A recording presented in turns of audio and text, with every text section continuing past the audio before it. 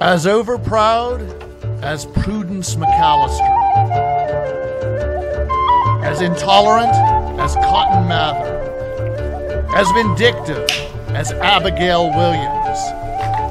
Emily Bloodworth was fixated on her family's mighty Puritan past and the blood which coursed through her black heart.